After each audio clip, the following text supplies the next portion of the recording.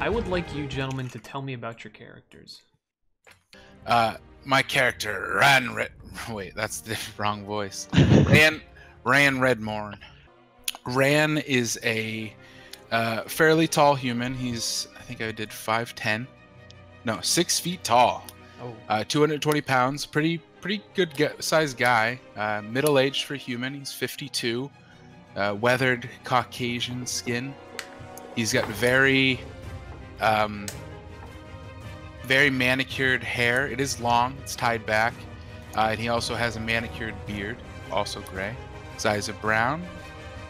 And um, he's wearing a uh, a gray plate armor with um, amethyst, an amethyst design on the front, uh, which is the symbol of his god.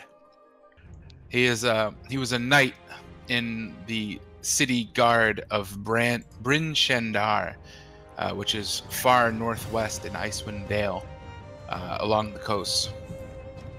Um, at one point, the city was under siege, and Ra- Ran uh, was dominated by a demon or, or some foe. Uh, and while he was dominated, he was forced to to harm, injure, and kill those he vowed to protect uh, of the royal family, the, the castle. Um, after the, the siege was over and he was, you know, left in a heap after his domination, uh, he was kind of lost and he, he found himself in a, a long forgotten temple to Auppenser, um, where he was gifted some abilities and uh, equipment to help him find his way back.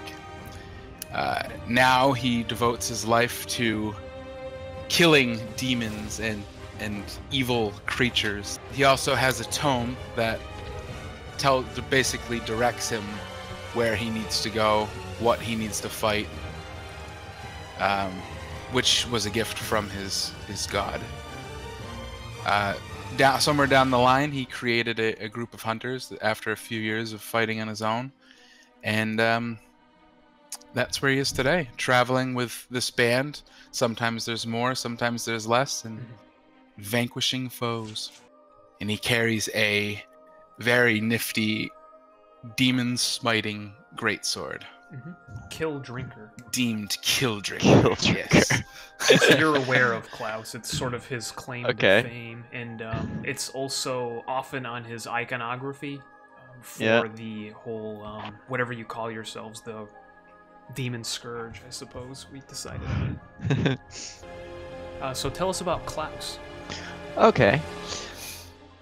Um, well, Klaus had kind of a rough childhood, and he turned into a thief. Um, he kind of ended up in a kind of guild of thieves. Kind of worked together for a while. Um, he still uh, knows who they are or how to contact them if he chose to. Um, he ended up kind of making some poor choices, more enemies than friends, and uh, decided uh, he kind of needed to leave where he was um, and leave his guild. Not that they wouldn't take him back at any time, but he's just trying to kind of kind of make things right, go down a different path for a while. Uh, so he kind of just does, you know, he gets his mindset on one thing for a while before he moves on to another, and uh, um, yeah, he could uh, he could go back to his his thieving ways. Uh, he gets the urge. He's always thinking about it, but he's trying to avoid doing that. Okay. And so, what does Klaus look like? Uh, he's five four, kind of a human-looking cat. Uh, white but dirty fur, Dirty. green eyes, and, And uh, he's I a don't. very good boy. Yes, yes, his his demon blade. Uh, I don't know what he's wearing for equipment really, but I just have leather right now selected. Right, But whatever, yeah, Do you wear a crest from your old clan or guild? no, probably not. doesn't want to be associated. yeah, I, don't I do have random. know where that- I do have random equipment like like ball bearings and Yeah, you do. I have a thieves kit or thieves tools. this demon scourge group uh, your intention is to wipe out demons wherever so any kind of job posting any request from persons in the countryside anywhere in the Mm. sword coast when there are demons the demon scourge is there and That's this awesome. used to be just ran and he sort of headed it by himself it was just a one-man operation but at some point when he's begun crossing names off of this list in his book that was provided by Auppenser. He got to the point where he was getting up there in age a little bit. He started this a little bit later in life than a lot of adventurers tend to, and he got uh, a little more serious about gathering a following of like-minded individuals who are interested in his goals and his ends. There's a great deal of agency, and many of these folks will have other things that they do at the same time. Like if Klaus isn't with you directly and he doesn't have any reason or need to be killing demons, then he'll do what he needs to do. So beside Klaus and Ran here, I will give you a couple other names. So the first one is a dragonborn gentleman by the name of Zykroff, and this is a dragonborn barbarian. And you met this guy. Uh, this was in Waterdeep, one of those big cities, and he's sort of a gloomy, down on his luck type. But on the battlefield, you have found him to be an incredible force against the demons. Um, he doesn't seem to have any real qualms with who he works for, so um, he's a sell sword for whomever's paying. But you have found that his allegiance is useful, and he is a great ally to you. Thordis Brazik, who is a dwarf, uh, he is a fighter that you met in your travels. Again, um, another great ally. He is a tough guy. He's a lot younger than you, and he doesn't mind letting you know that. And so when you have fought together in the past, Ran, um, Klaus, you've heard them needle back and forth. It's a uh, sort of uh, lighthearted uh, teasing that happens. But you you suspect that Rand definitely holds it against him. Rand doesn't like being called an old man. Um, there is also Biril Arwana, and this is a half elf sorcerer. Um, you know Ran when you first started working with her. This was out of. It was uh, one of the ten towns in Icewind Dale. You met Beryl, um, this half elf. You're not really sure where she's from. She's kind of evasive about that. You do know that she loves animals, kind of a typical elf thing. Maybe she helped me uh, uh, hone some of my sorcerer abilities. Definitely. Uh, she she does a lot of that magic work when you need it. Um, one of the few magic users in your coterie. Where did you say we met uh, Thordis? Thordis, you met in Waterdeep. Okay, Waterdeep as well. Just trying to keep notes on this. Yeah. Uh, another member is Chandri, who is a a human, but you think there's more to her. She is basically a huge woman, which is a little unusual for a human, but you have also on the battlefield seen this particular fighter. Um, you've seen her eyes alight with an unearthly glow when she fights. Um, and so she is a party animal and doesn't like to get too personal, too touchy feely, but she is definitely one of those uh, members of the Demon Scourge who you feel is a step above you. But um, still, of course, uh, revered and useful teammate. Definitely a force to behold on the battlefield. Is she like melee oriented or? Yes, she is. Okay. You said fighter, Yes. and she was in Waterdeep as well. This was not Waterdeep. You met her somewhere in the Sword Mountains. It was basically on the battlefield that you met, and uh, that's where the alliance was struck. And Divden Freth is a Drow rogue, and Klaus, this is uh, you're pretty close with this guy. Um, Okay. so he you don't think that he wasn't a member of your previous uh, clan, but he knows of it. Like he sort of knew you through those venues, but um, you get along pretty well just because of the fact that um, he is like unrepentantly evil, and it's almost funny the way he is. Um, so this is a drow who he is cursed by a lawful good god. And just bad luck always follows him, but it's good for a drinking story at the bar for sure. And you also know a human fighter named Earth, who um, you met in Baldur's Gate. He has helped you out on a few occasions, but he has a an infant son now and a day job, and he is not around so often. But Earth is a valuable part of the team still.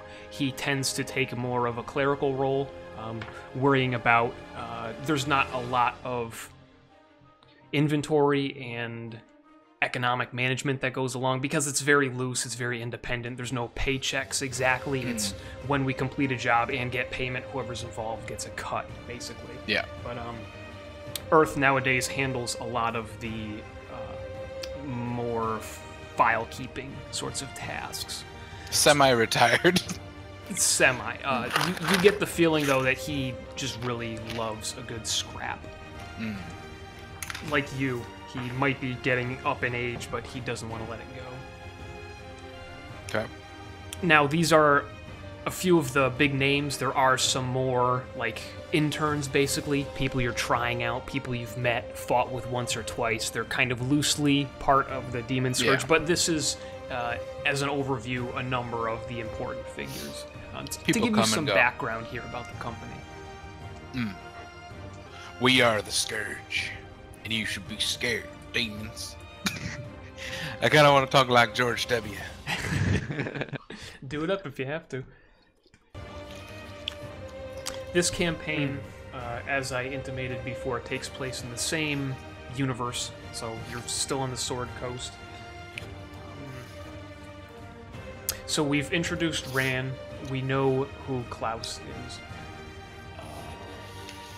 What if we find Gondor? What if? You won't know who he is, perhaps. Do we know if it's like the same time period or not? I am not going to reveal that. You will learn in time. Fair enough. are you in, intending? I don't know. Maybe you don't even want to reveal, reveal this, but are you intending for this to be a, like a reoccurring side campaign kind of thing? It might. Depends on how it goes. Cool. Yeah, I kind of asked him that. He's like, yeah, if you survive. James and I were kind of talking about that earlier too. Like, oh god, this might be some uh, tough titties. Well, you put all that effort in the character. It'd be a real shame if something. went wrong. James also was telling me that he might want to play this character again. yep. I feel the Should same. have said that. Mhm.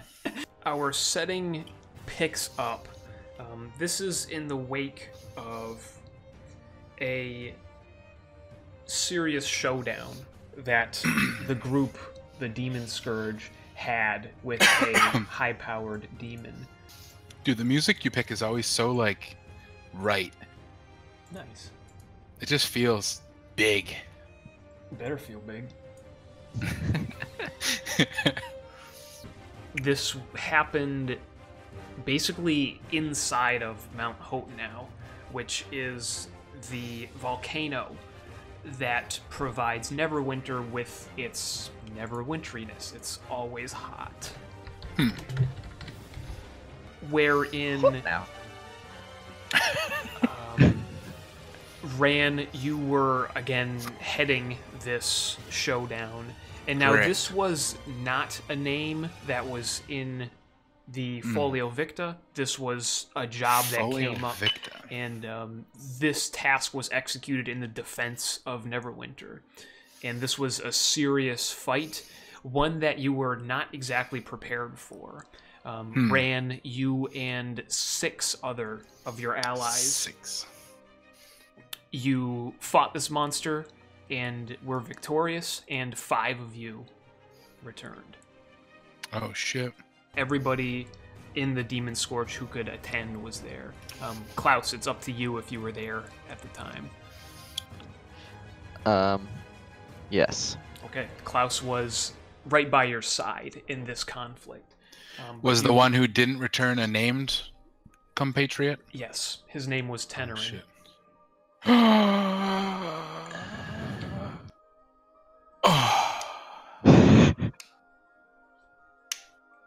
Tenerin was a good man. He fought well by your side. Um, you didn't know a whole lot about him because he was very introspective, very much um, a private person, but he was truly a blood brother. Uh, not by blood, but a blood brother forged on the battlefield. And unfortunately, with that loss, um, Ran, uh, you have had this sinking feeling for a long time that has only gotten stronger. Um, that uh, you've been doing this for a long time and you need a rest. And somewhere in the back of your mind, for about two years, you've been wondering when this rest is going to go on in perpetuity, when you're going to get out of the business Hmm. it's not something you want to do, but it's something your body is telling you will happen eventually. In Rand's mind, he's gonna he's gonna rest when he dies. there you go.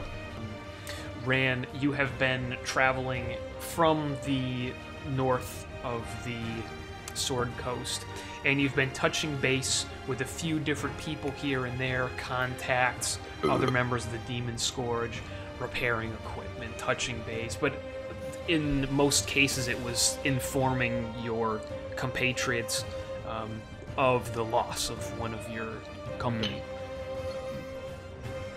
And so it's kind of up to you how hard that hits you. The demon scourge is my family. There you go. So you have lost Every one. loss hurts. I'm sorry. Every loss hurts. There you go. And you have met up with Klaus because he was in the area. Um, he was also heading up this way. You have found yourselves in the Heartlands and in the middle of a particularly nasty and rainy evening. You followed the uh, the long road north along the River Dessarin, and your destination, which lies ahead of you, is the Bargewright Inn. Klaus and Ran, you are on your horses. You are traveling north up to the Bargewright Inn, and the moon is obscured by clouds right now, dark storm clouds, and with the edges of some orange lit lanterns, you can see the structure. Um, the both of you are more than likely familiar with it. Rand, you've been here more than once. Klaus, you've, if not heard of the place, um, you've probably been here if you've been in the area. Um, so Okay. the Bargewright Inn is not merely an inn; it is a fortified paddock. So as you're traveling up the road, you can see uh, you're at the top of a valley and looking over this place. There is one great big structure at the top of this with two spires. One is a little bit off kilter, one is nice and straight. And in the uh, rain, you can see illuminated by lanterns a number of small houses, um, shops, perhaps, all arrayed around this large structure.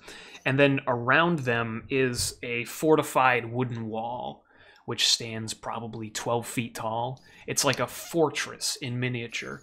And within, as well as around these walls, are pastures. And in the firelight, as you get closer in these lanterns, you can see all of the livestock, the horns glistening with rain, the tails flicking, the herdsmen walking them here and there. Um, so, to the east of this whole fortified structure is a tremendous paddock, and you you can't even see it all in the night. Though it is a nasty and fell night, um, you are here for rest because this is the site of Tabra's, and I'll put that in the chat. Um, and this is a renowned place. Um, the whole Bargewright Inn itself is truly renowned because this is where people go for shelter. Um, the Dessarin Valley can be a place of nastiness where there are plenty of monsters that run amok unchecked. Um, in recent years, there were demons, but um, fewer now. Um, but Thanks Tabra's is a uh, an alehouse, a fest hall. It is uh, renowned for the not cheap drinks, but affordable drinks, given their quality. But you are looking forward now after having ridden your horses in this gale, this terrible storm for about the entire day. You're ready to get by a fireplace. Rand's horse is named Weston, Weston. and he is a magical horse, meaning he is a, a summoned horse. Got it. Oh, nice. Yeah. I just thought of that on the spot. Is that the only horse we have? Oh, I'm sure there's you have a Klaus, horse. you're so- riding a steed of your own. Oh, good. Okay. Well, then mine is Easton.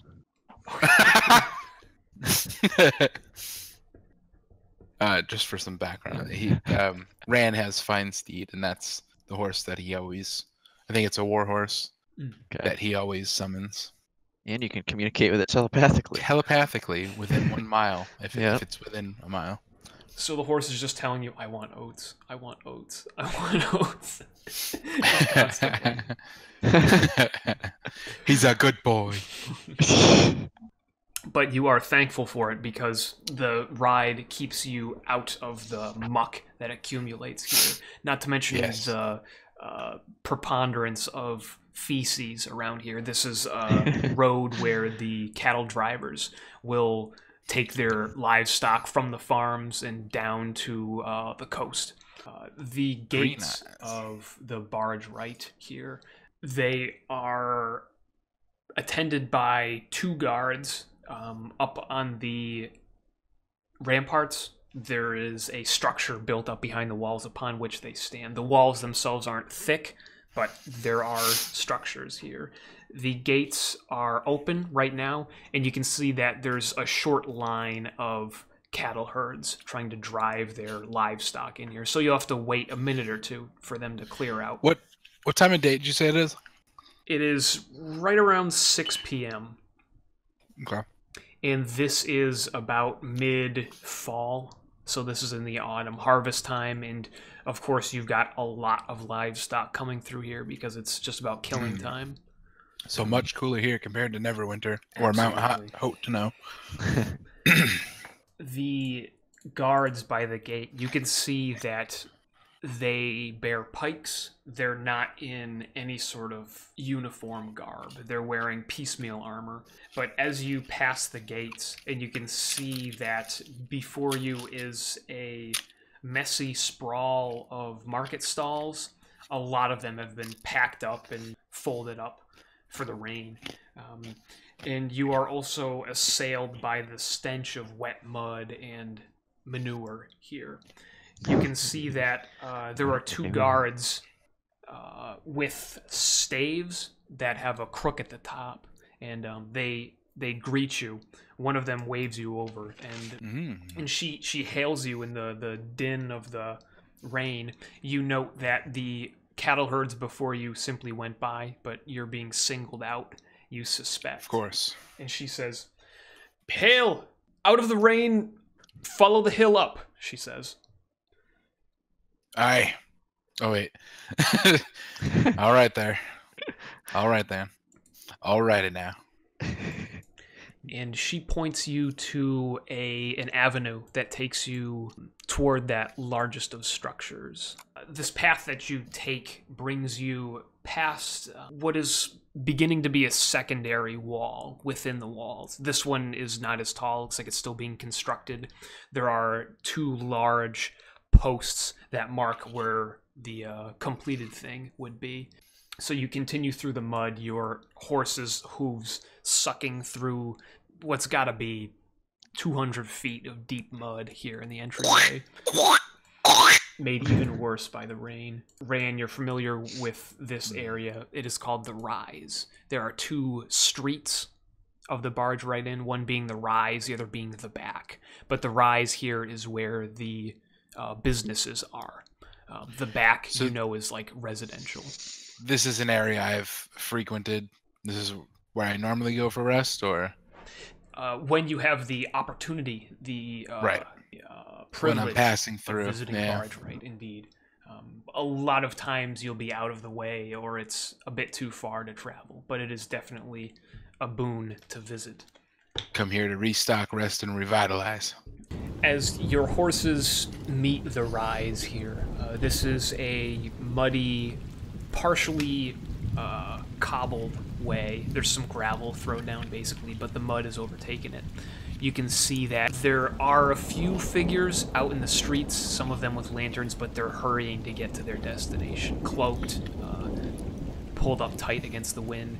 You can see that um, as you pass on your left, what looks like a general goods store. Um, it is still open, but um, the windows are being shuttered against the storm. Um, On your right, you can see a uh, what looks like a blacksmith shop of some description, and outside there is a man who's got uh, a cloak pulled up over his head, hooded, and he's messing with what looks like some sawhorses out in the front of his building. Um, and then to the left, a little bit farther up the hill, um, farther along the rise, is Tabra's itself, which is a two-storied uh, inn tavern, and you can basically see through the lit windows, um, all shuttered up still, but the light is peeking out.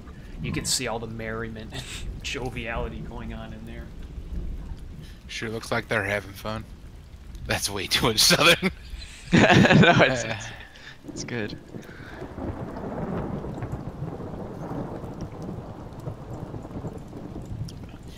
Come on, Weston, we're almost there. There is a stable here on the left. Part of the roof extends, and then there's a spot for horses. Um, and there is a stable hand there. He uh, he reaches up for the reins of your horse. He says, "We'll take him. One gold for the night." Fair enough. All right, buddy, this dandelion for you. And um, I he- stroke his mane.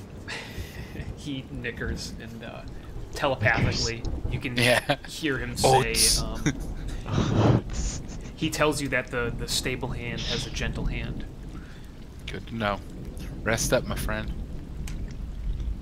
so the, the boy takes the two horses uh, it looks like he, they're being taken around back where they must have more space You let me know if he's mistreating you. You? So we were told to, to be pulled to the side. They knew where we were going, or no um, you expect you've had this treatment before because they didn't recognize you so if you're not a usual um, uh, ordinarily in the past you've been given like the layout by those guards but you think because of the rain they're just telling you how to get out of the rain okay, got you.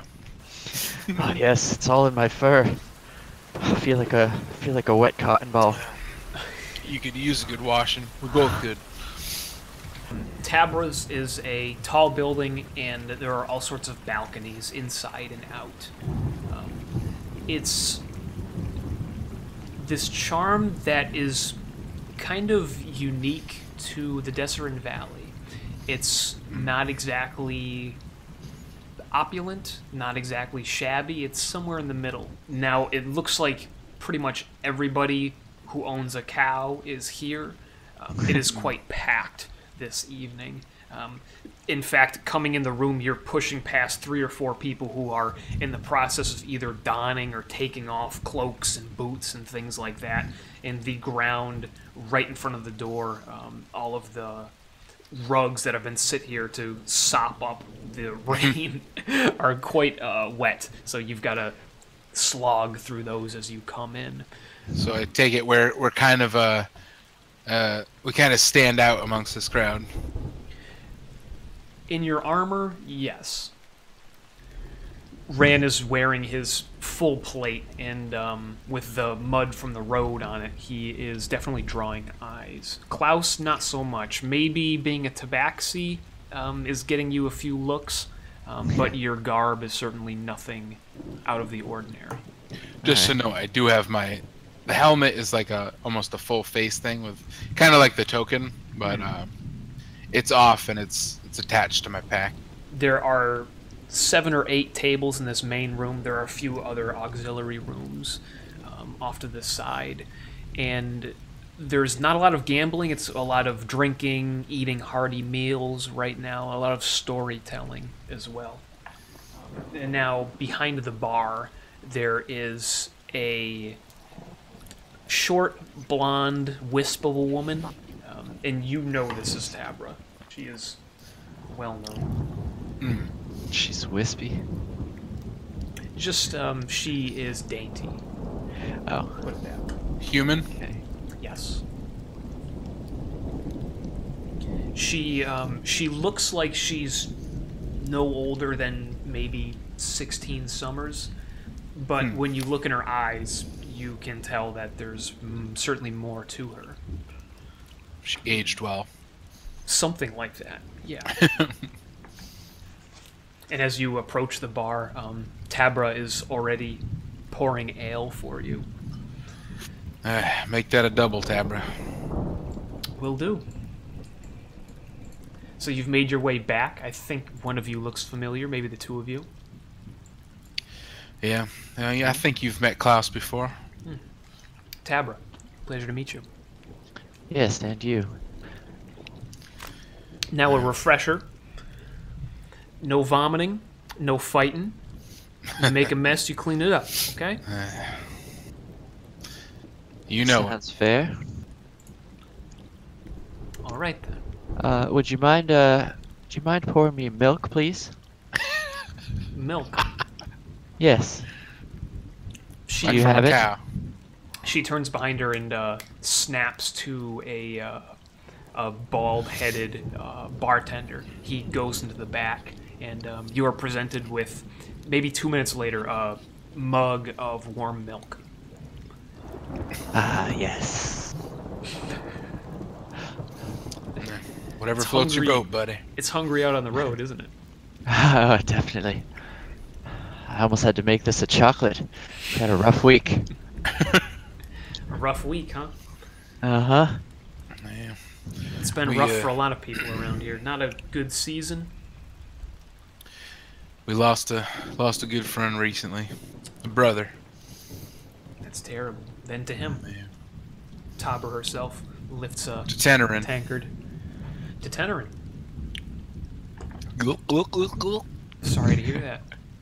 But Me a too. mug of ale has a way of fixing those problems, at least for a while, doesn't it? Here's to hoping.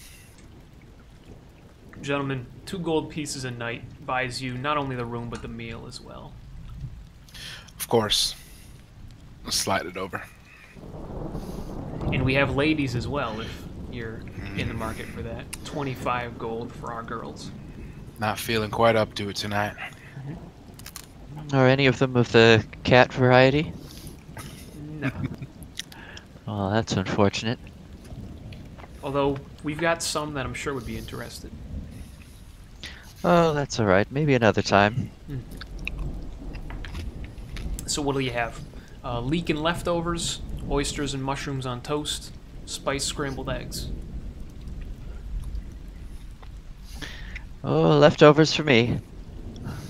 Oh, the heartiest thing you have, darling. Right. That'd be the leftover soup.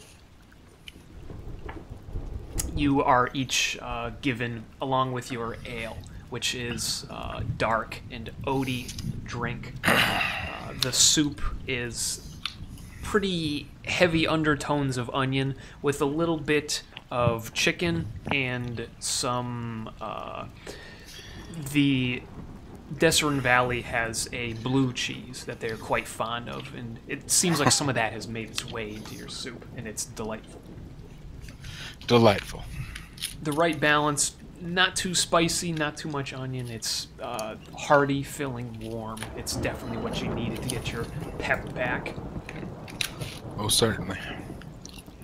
You can hear a lot of uh, sneezing and coughing as um, the patrons of the bar make their way to uh, get up, get their drinks, get their food, make it back to a table. Um, it is relatively crowded, so you can see what looks like strangers sitting by strangers.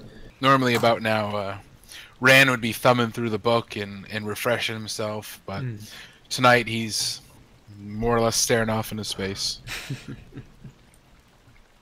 Mourning and, and thinking about what went down. So, how about you, Klaus? Uh, you're just gonna get your meal, and uh, what would you like to do? Sounds like Ran's Uh, just planning to, or at least you get that look from him that he's just looking to turn in. Oh yeah, same here. Definitely need to dry off this wet leather. Tab You know how- has You um, know how it makes my fur. Wet and dirty. Oh yeah, you could probably smell it from there. Used to it by now. The accommodations are quite nice, truly. Um, most inns that you'd encounter here along in the Dessarin Valley are substantially worse than this. Um, you do have a feather mattress. You're up on the second floor, and um, because of the position that Tabra's has, um, you're at the bottom of the hill, but you can see out over the wall for quite a distance, and you can Very uh, watch as the storm it abates a little, um, but toward midnight it is still going strong. It's kind of relaxing. In a way.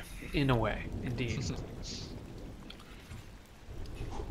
now, during the night, you can hear downstairs an inordinate bustle. You've grown used to just the boots on the floorboards constantly. There's always somebody coming and going.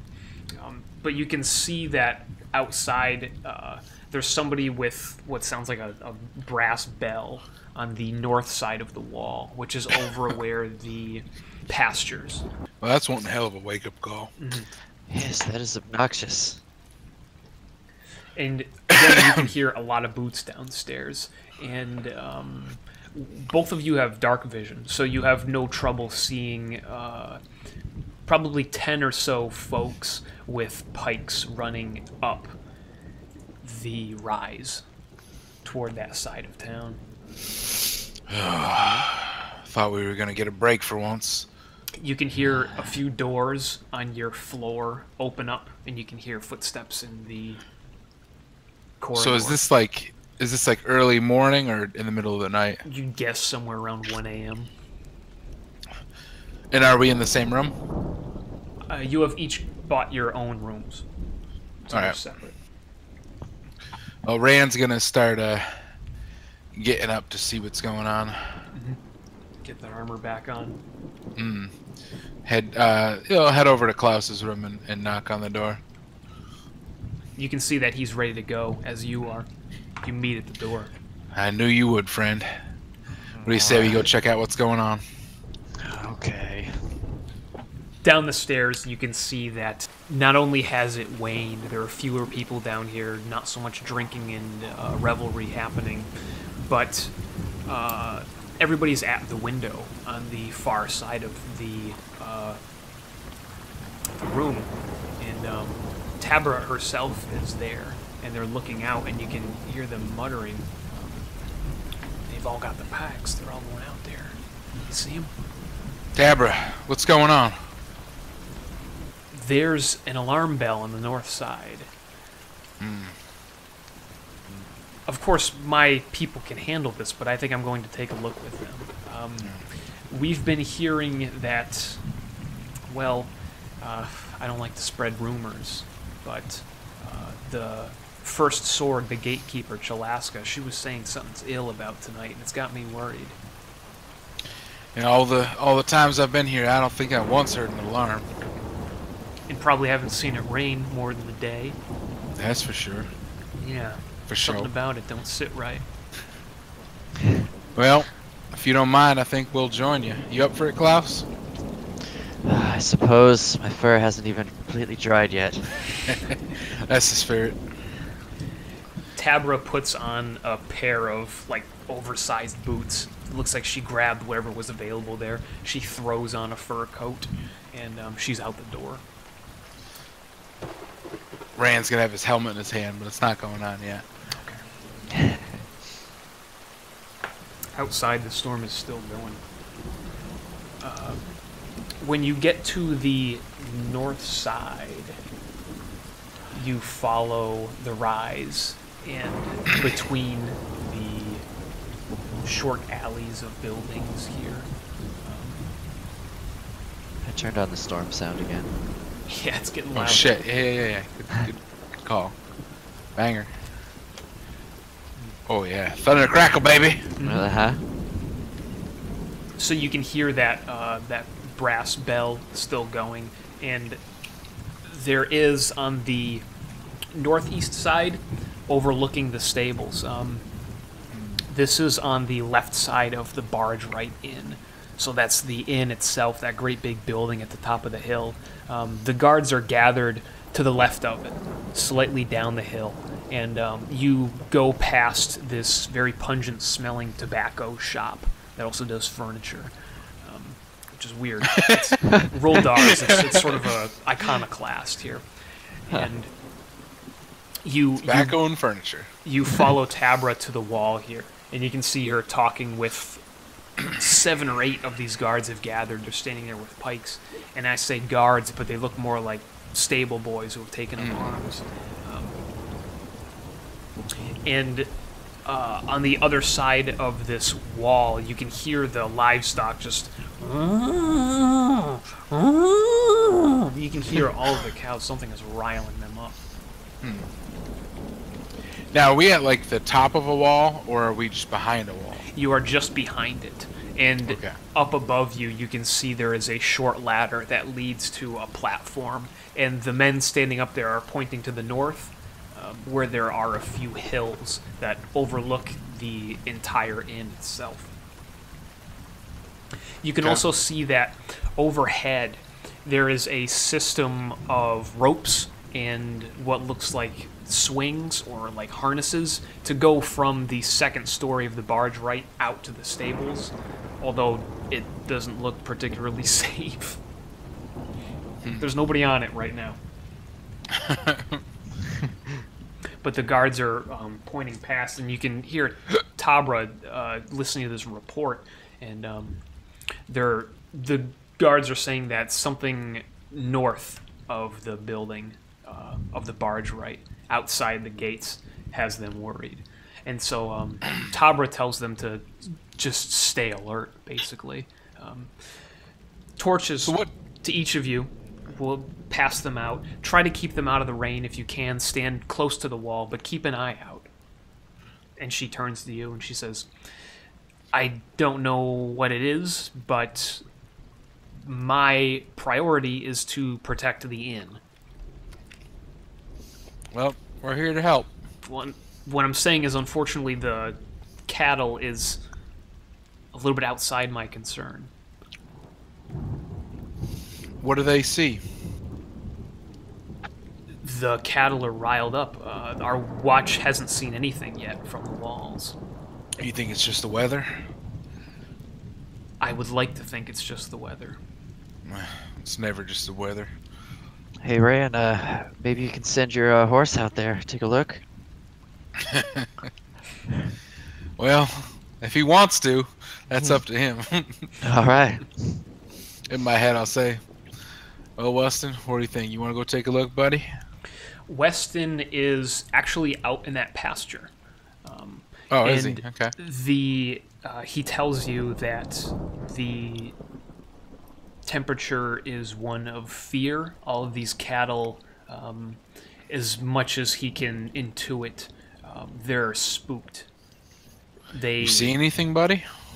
he hasn't seen anything personally, but he knows whatever it is, everybody's facing northeast. There's something out there that is making their stomachs churn. Maybe we should go take a look. And Weston tells you it's that smell. That smell. Do I know what that means? The demon smell. Oh. Well, Klaus, looks like rest is gonna have to wait. I think we got another job to do. it's a demon, isn't it? That's what it looks like. And, All right, well, I Tabra, guess we upon gotta do it. hearing this, um, she has her eyes wide, and she says, "I'll go tell the captain of the guard immediately." Well, I only tell them if they're experienced.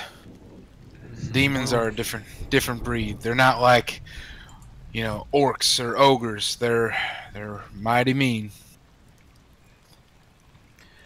There might be some way we can get them out of here.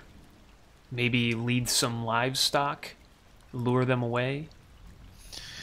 Eh, I know me demons, and they're not after they're not after no livestock. I feared as much. They've got a a taste for the intellect. They want to go after people that will fear them, not cows. If you can do anything to protect us and all the poor souls trapped in here, if demons are afoot, then you will have our earnest thanks. Well, sweetheart, you're in luck.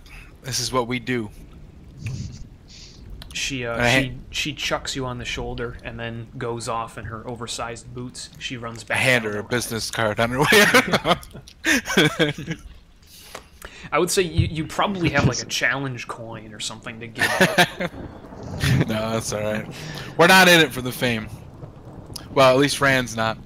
Ran's in it for pure uh, vengeance.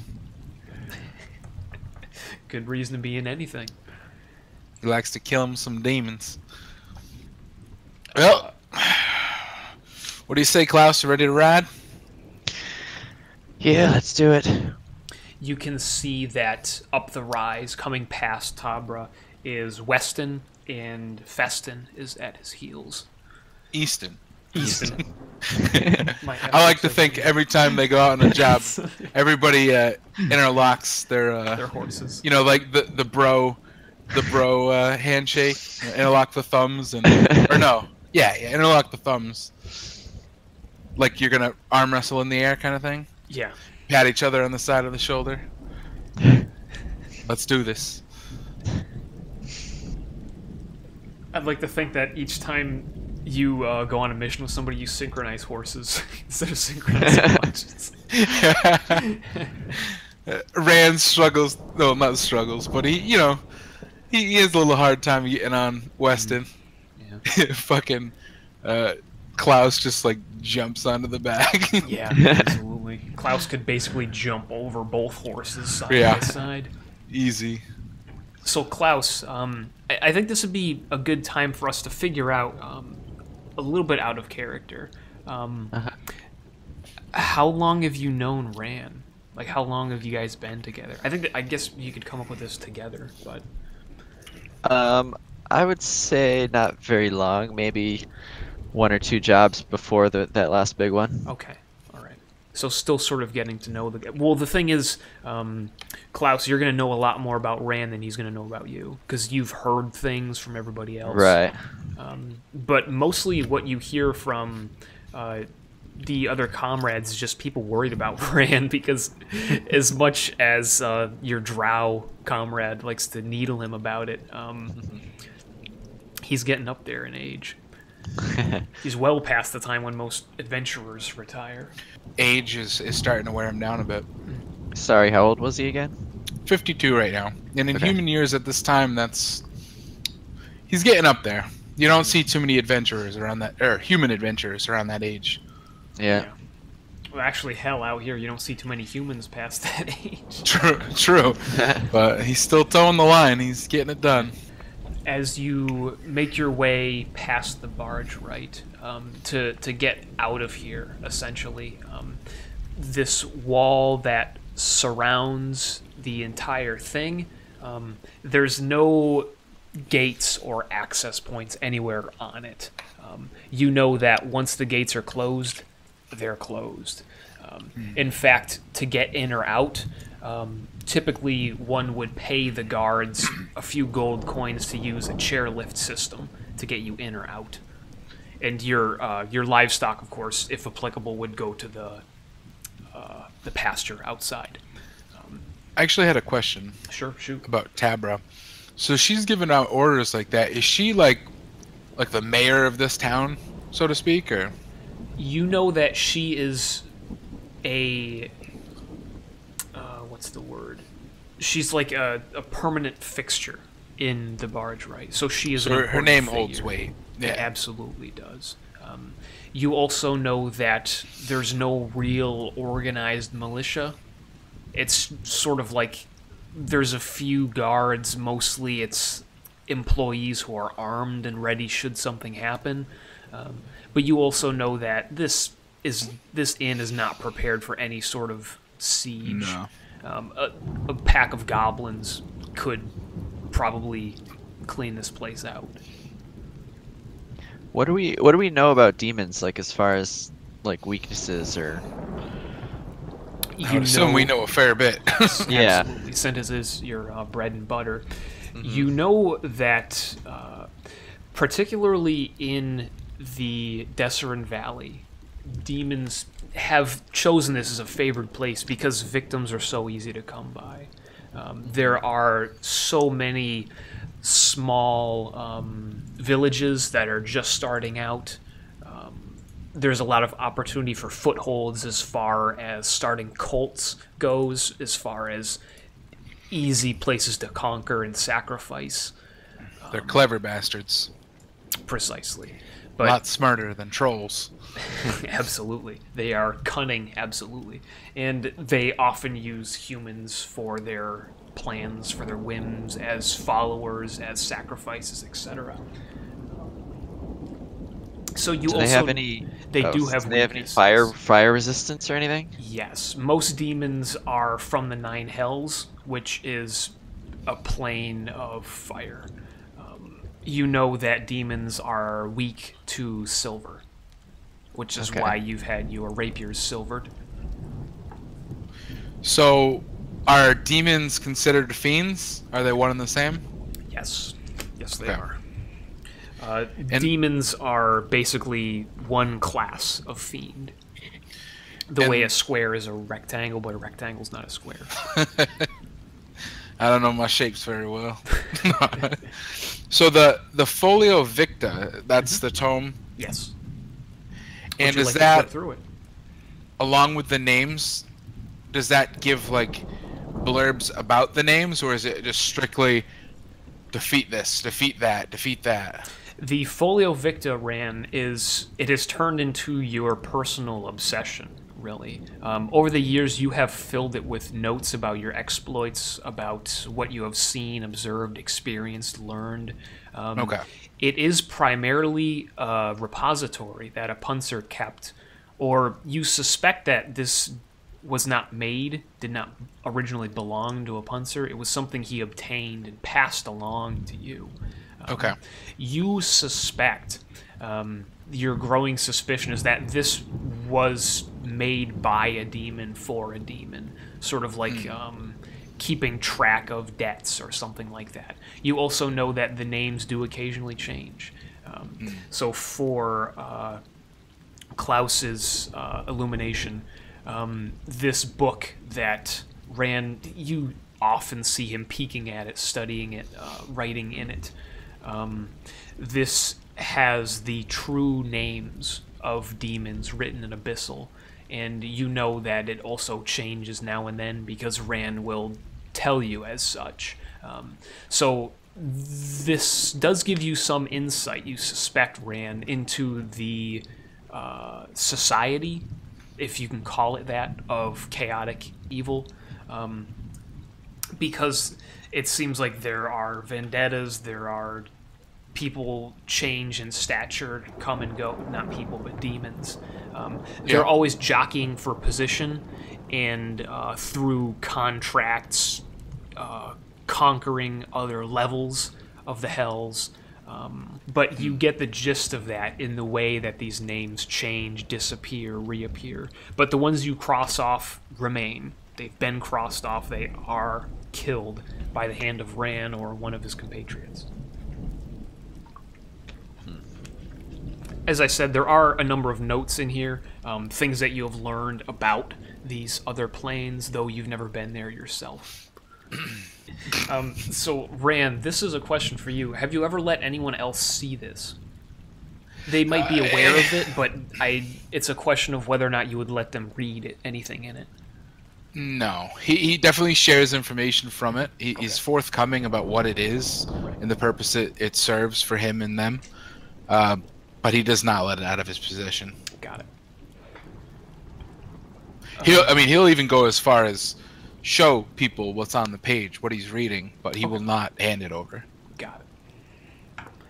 To him, this, I mean, this is the gift from his god. Right. This is his. It's meant for him.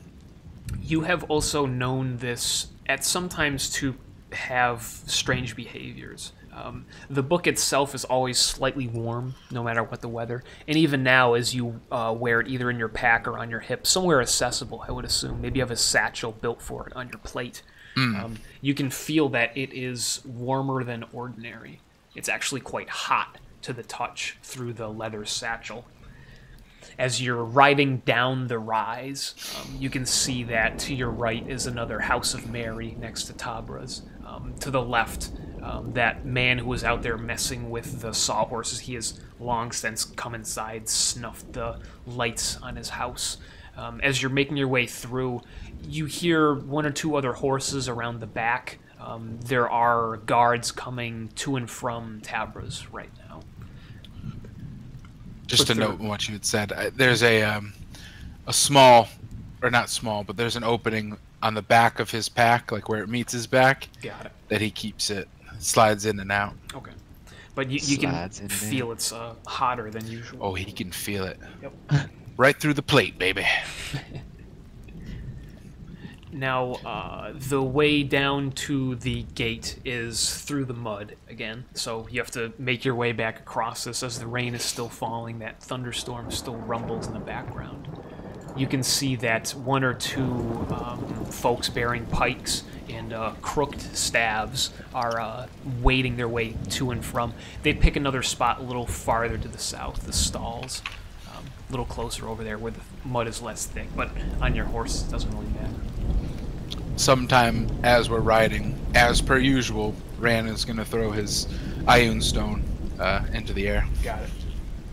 So, Klaus, um, you have seen Ran do this before as he enters combat, sort of like a ritual. He has this little red stone that he pulls from a pocket, and when he throws it, it begins orbiting his head. It just kind of floats there. Um, you've asked him about it before, and he tells you it's something magical. Does an amethyst Yeah, have a, a shape? Uh, no, it's depending on the cut. I'm thinking a- an amethyst, amethyst like gem. Okay. a little pinkish, purplish violet. Maybe it's not an Ion Stone. Maybe it's an Auppenser Stone. There you go. Maybe it's something like that. Perfect. He told you it was something magical. Okay.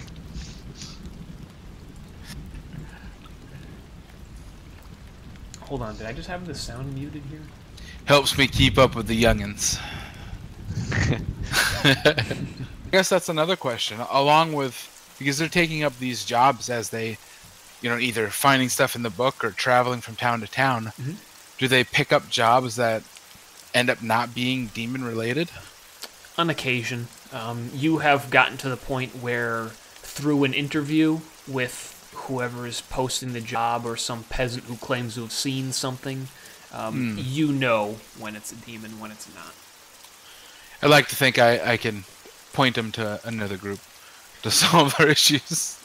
Other- Actually, maybe not. The other Maybe thing is that you have, especially with the assistance of uh, Weston, you have developed the ability to really sense the stink of a demon. Yeah. Weston smells a lot better than mine. Klaus, you haven't quite gotten to that point. You, a lot of these guys will talk about being able to smell a demon or sense them. You don't It's really real. get any of that, but you think that it's relatively trustworthy when they do claim that. It's a real acrid scent Klaus, like sulfurous. Kind of like that mountain we were on. Oh, okay, I'll, I'll keep it in mind. You make your way across the mud back to the front gate, which um, the guards sort of stationed on the structures next to the gates. They look at you come up, and uh, the gates are still closed. You can see one with the um, the pike.